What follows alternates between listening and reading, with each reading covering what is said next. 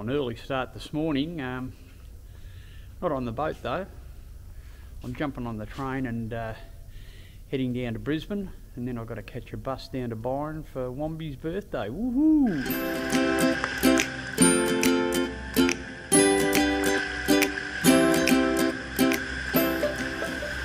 Well, we don't wear skimpy bikinis. Hell, it frightens me when I take my shirt off. There's definitely no one pregnant here. This is motor sailing for old dudes.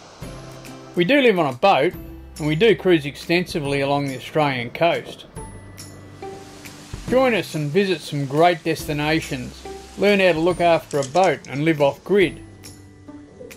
It might even get you enthused to do the same thing.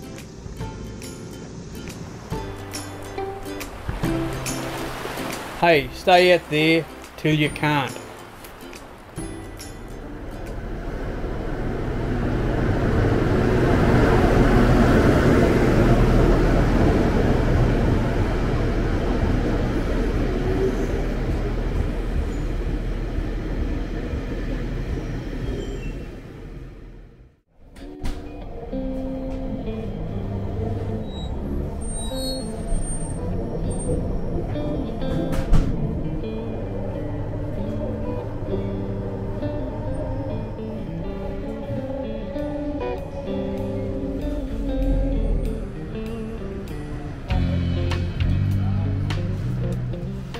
Well, the train trip to uh, Brizzy was good. Uh, now I've got to jump on a bus and spend three hours on that getting down to Byron. Fun and games.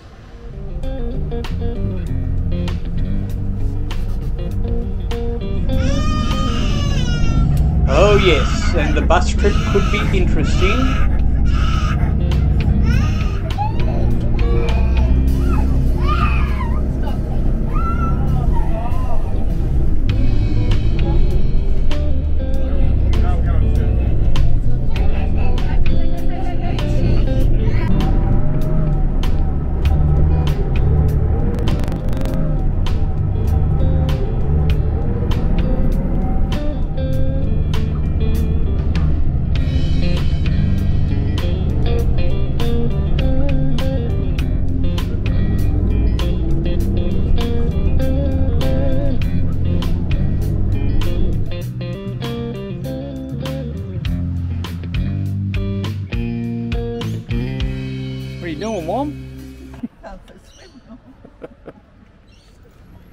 So the morning ritual uh, here at Byron, Wendy goes for a swim, and I take uh, Ted for a walk, and then we come back for coffee.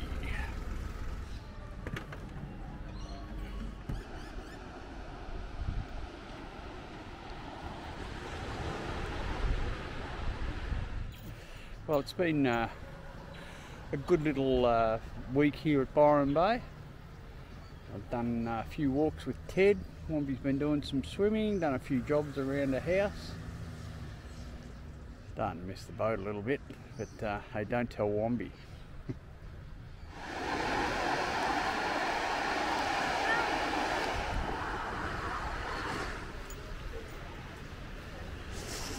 nice swim. yeah.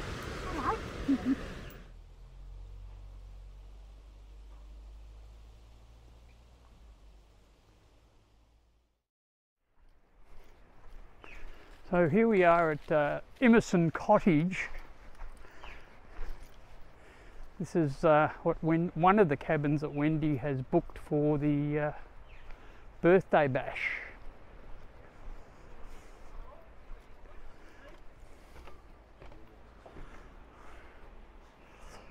Pretty nice outlook.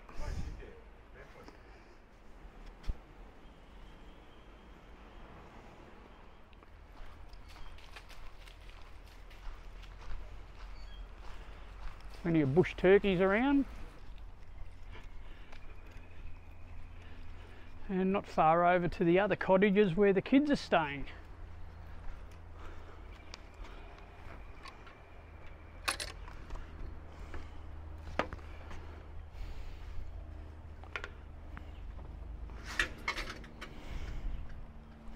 There's even a bit of a nautical flavour associated with the septic tank.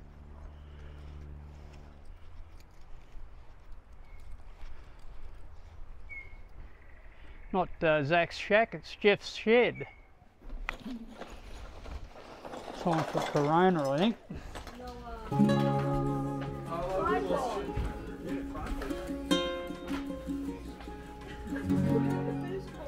All of Wendy's family's here.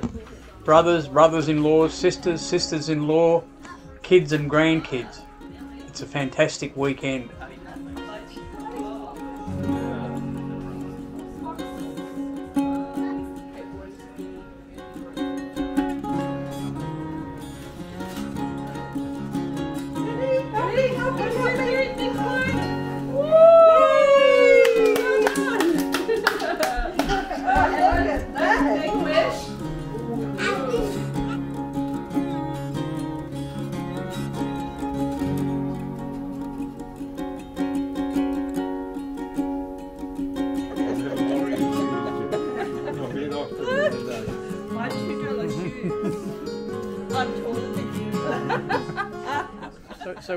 Girls going tonight, Wombi?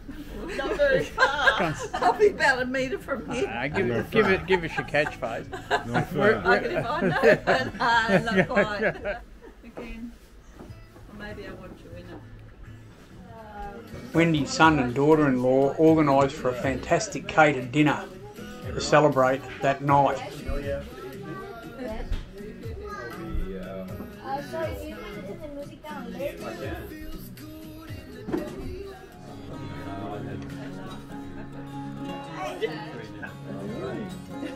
Ah, master. There we go. I just like Right, it. so Cheers. do you want me to just tell you what you're eating first so I can get it? Happy birthday Day to you. Happy birthday to you. You know. Or bootless.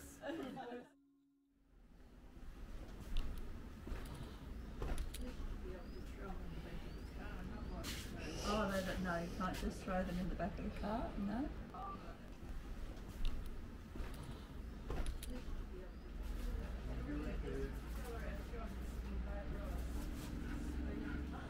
Well, it's been a huge weekend. It was great catching up with everyone here, the whole family uh, in three cabins, right in the beach at Byron Bay. Fantastic.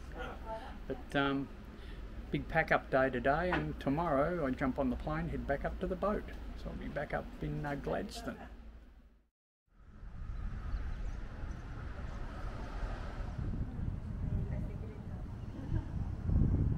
So here I am sitting at uh, the uh, bus pickup area at uh, Byron Bay. Uh, three hour trip to Brisbane Airport and then on the Fokker and up to Gladstone. So I'll be back at uh, at the boat by about uh, 5.30, 6 o'clock tonight hopefully. Travelling pretty light but um, it's been good down here but I really do miss the boat when I'm away from it and uh, it's time to get back up and have a few more adventures I think. Wendy's got a bit more to do here, so she's going to dwell for a while and get some things done, and then she'll catch up with me uh, when she can. But um, anyway, it was a great weekend for her birthday. We had a good time, caught up with family and the kids, excellent, and uh, yeah, it is good to be going back to my home.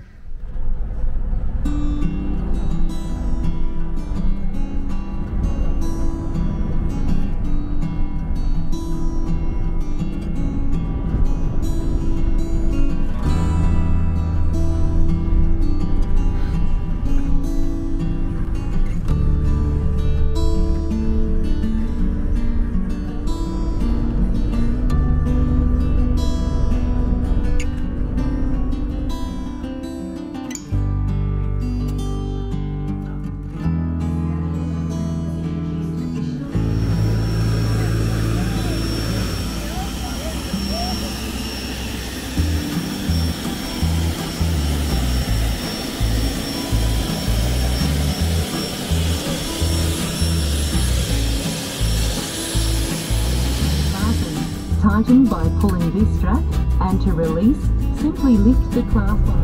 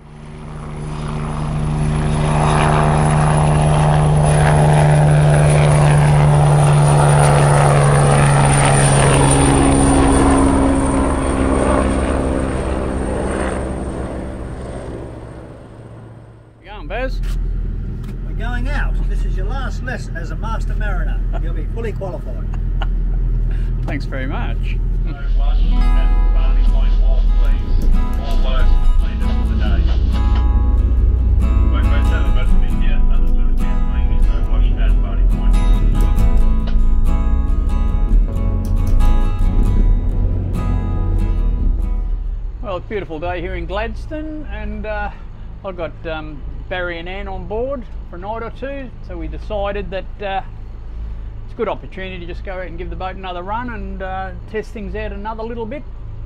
And um, we're just going to head out to one of the islands out here and have some lunch.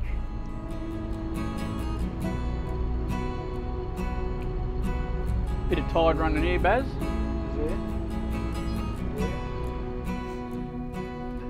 We just anchored off uh, Picnic Island. We've had a bit of lunch. Good to get out of the marina for a minute. And we're going to uh, let a couple of gas ships go past before we head back to the marina. So there's two gas ships uh, heading up the main shipping channel right now.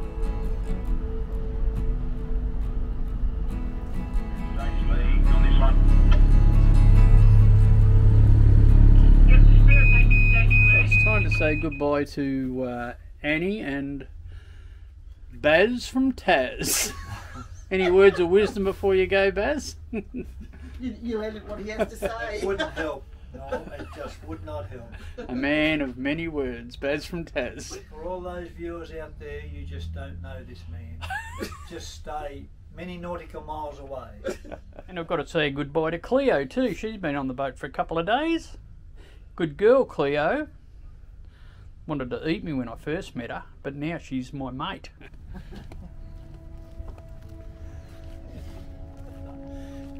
Baz's birthday today. 69.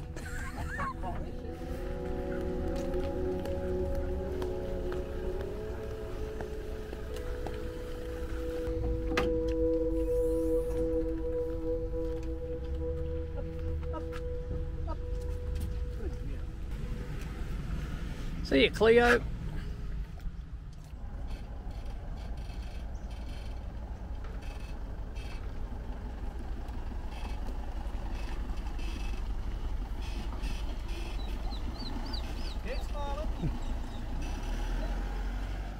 Thai for din dins tonight.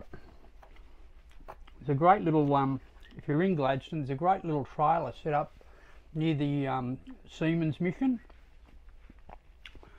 cooking Thai food and it's really delicious. So I thought instead of um, having to make dinner and wash up tonight, I'll go up and treat myself to some Thai. And I've got lovely honey chicken, some coconut rice, and it's beautiful. But anyway, um, I'm just working out what I'm going to do. Well, I know I'm going to go tomorrow, but I'm just um, been going over the calculations for whether I go up the outside, out through the south entrance and up around Cape Cap or through the Narrows and um, up into Keppel Bay that way. I think I'm going to do the Narrows. We've got really high tides at the moment. The tides, uh, I think, five and a half, six metres, so they're really big ones. And I think I'll leave here at about eight o'clock in the morning. High tide at uh, Ramsay Crossing or the Cattle Crossing will be at about 11 o'clock. So if I leave at eight, they'll give me three hours. I should get up there in plenty of time. And I think I'll probably pick up at least a couple of knots uh, on the trip doing it that way. So um, I'm going to go up through the Narrows. If the wind's okay when I get to the um, the top of the Narrows or Sea Hill, I'll keep on going. I'll get a bit of sail out and sail across the Keppel. Uh, if it's not, I'll find a little creek there to hide in and um, we'll spend a day or so there just waiting for the weather to get across. But um, it's been great here in Gladstone. I've got all my jobs done. I've done a lot of work on the boat, which has been great. And um, yeah, it's time to go and start cruising again. So I have enjoyed my stay here. The facilities are A1. Coal dust's a little bit of a problem. You've got to wash your boat pretty regularly. But um, yeah, the crew here are great and the facilities are, are top class. So definitely worth having a look at Gladstone and um, head up to the corner and get some Thai uh, while you're here because it's really yummy.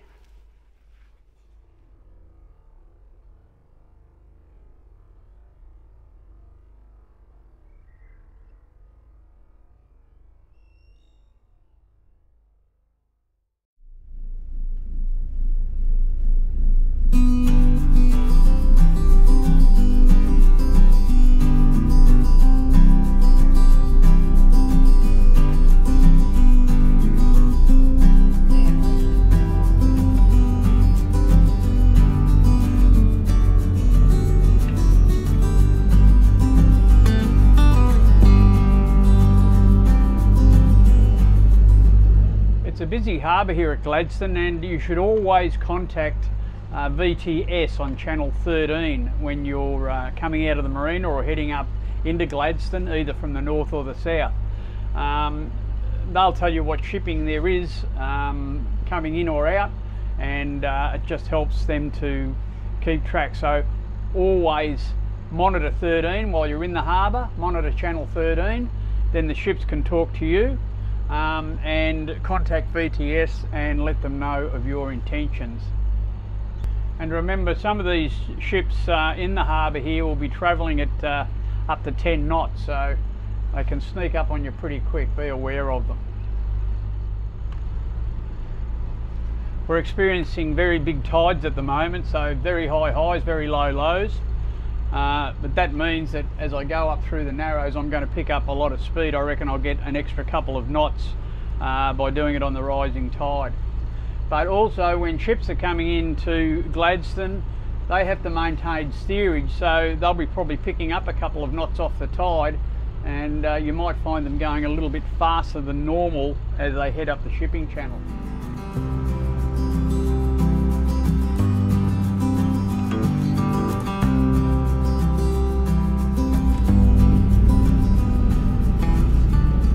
Got a pretty fair wind and uh, I think I'm just going to get the headsail out and use a bit of it. I'll definitely want to use, if it stays like this, I'll definitely want to use this uh, when we get out into Keppel Bay and get across the Keppel, but uh, might as well use a bit while we're heading up through the Narrows, I guess, too. I dare say that uh, when it starts to twist and turn, I might have to furl it up, but we'll just see how we go.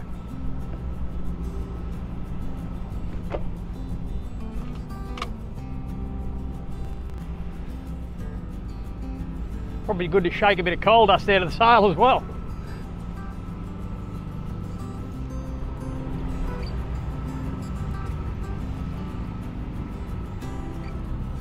So this is the black swan mark up in front of us and uh, start of the shallow water. So I think I'll keep the sail out because it's uh, doing a good job and I think uh, the wind direction's pretty good although it's dropped out a bit. I might wind it up in a minute and uh, not have to worry about it while we go through the narrows or through the cattle crossing anyway. I think I'm going to uh, just wind the sail up while we're um, going up through the shallow water of the cattle crossing, just something else I don't have to worry about and uh, I can concentrate on my navigation. Probably hold it, but we, it winds around a little bit and it uh, might be a little bit hard to keep it full. We'll get it out again when we get out into Keppel Bay. Well, it's been uh, a pretty good trip and we're here uh, right on high tide, I reckon, or we'll be at the cattle crossing right on high tide, so it's going to be good. Then we'll get a bit of tide uh, back out into Keppel.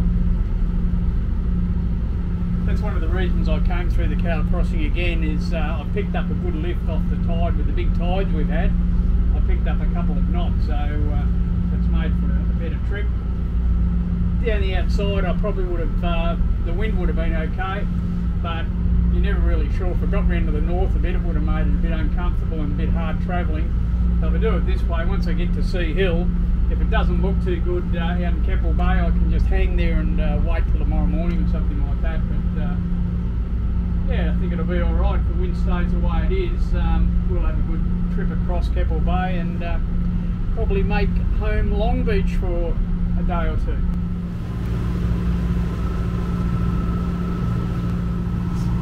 This area here is uh, around about the shallowest part of the uh, crossing and uh, we've missed the tide a bit. The tide's going out this side now but once we get uh, up where the boats are in front of us it'll be going out the other way so we'll pick that up and run it uh, down to Sea Hill. So we've done it pretty well and the sun's out. Should be a nice uh, motor sail across Keppel Bay, I'm hoping.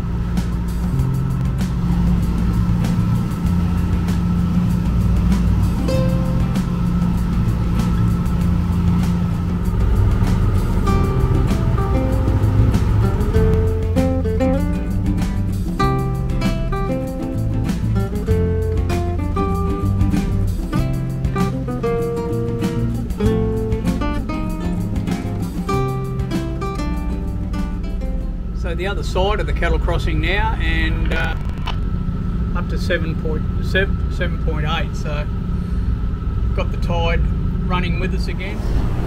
Just leaving the Narrows, uh, bit of breeze out here from the east really and uh, we're getting along at a pretty good clip.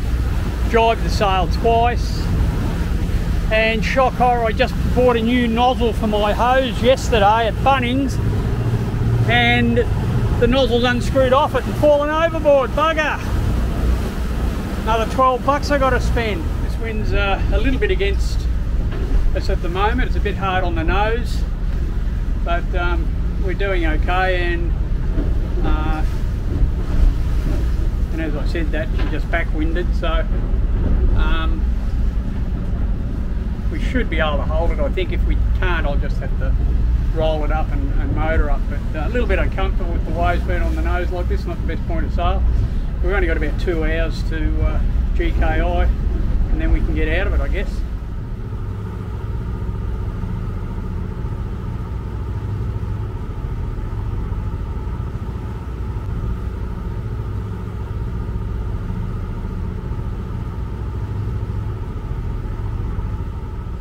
Well, having run those damper plates for about 12 hours now, uh, they seem to be really doing the job.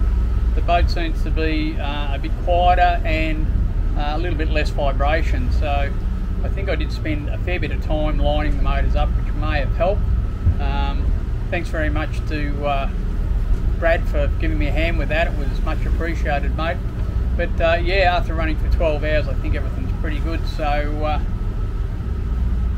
I feel confident now that we can get cruising again and um, not have to worry too much about um, damper plates at least.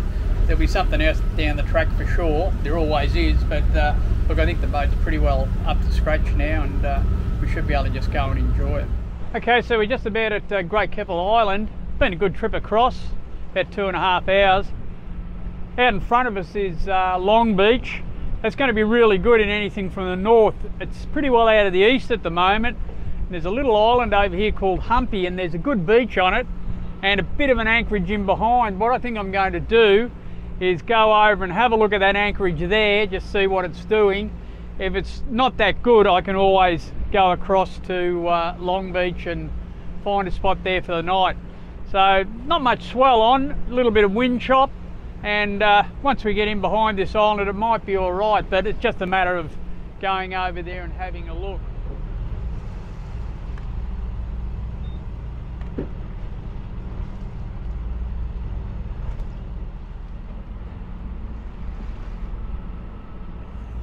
Looks pretty good over there. There's a couple of boats on the beach so there's no swell on the beach at all. And uh, I think I'll go over and check it out get the anchor snubber set up before I run over this little fishing boat. You can see the bottom's um, pretty flat looking and that'll be sand I'd imagine so I think this will be a good good a spot as any to drop the pick.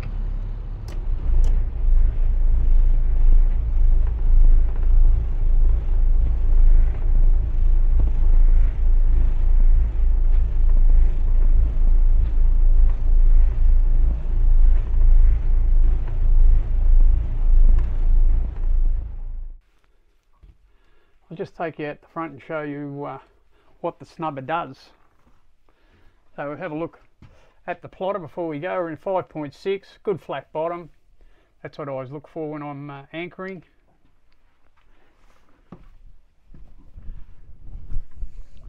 I'll put the chain on the bottom and let it dig in and then I attach the snubber. This is the snubber here this rope here is the snubber and you can see that it's taken all the weight off the chain. So there's no weight on the well there's still weight on the chain but it's taken all the weight off the uh, capstan off the um, winch. So that chain is not doing anything. There's no weight, weight on that windlass now and it's all being taken by the snubber. So that's what I use a snubber for the last thing left to do is just uh, pack the sail up and uh, I don't think I'll probably use it very much around here because all my trips are going to be quite short. If I go across to Long Beach tomorrow I've only got to go about 10 or 15 minutes and I'll be over there. If I've got to go to uh, Keppel Bay Marina, it's only an hour in that direction. Uh, it's all pretty handy here. When you're at Great Keppel, you tend to do what they call the GKI shuffle. So when the wind's coming from the north, usually at Long Beach. If it goes round to the south, you'll be around at Svendsen's on the other side of the island. They're both great beaches and both got uh, plenty of anchorage there. This little one I'm here on at the moment is called uh, Humpy Island and in an easterly it's not too bad as long as there's not too much swell on which there isn't so I think we'll have a pretty pleasant night here. Anyway let's get this sail away.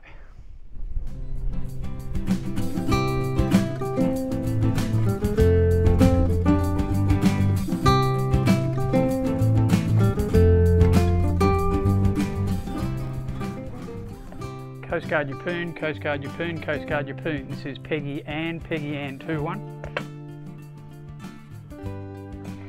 Yeah, Peggy-Anne, Peggy Ann. This is Coast Guard Yeppoon. Go ahead. Uh, yeah, Coast Guard Yeppoon. This is Peggy-Anne. We're on your log this afternoon. Um, you can take us off. We've just anchored at Humpy. Thanks for your assistance. Over.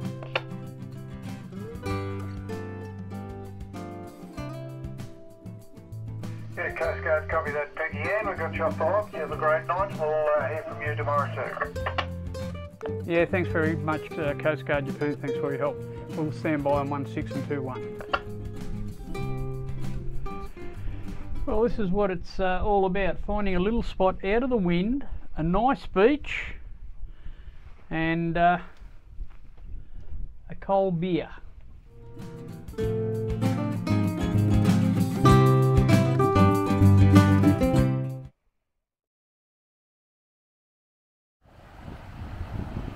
We move across the Long Beach and start to enjoy everything that Great Keppel Island has to offer. We find some really interesting things on the beach and even get to have a swim. And then we move around to Fisherman's and explore the tavern there. See you next week, dudes.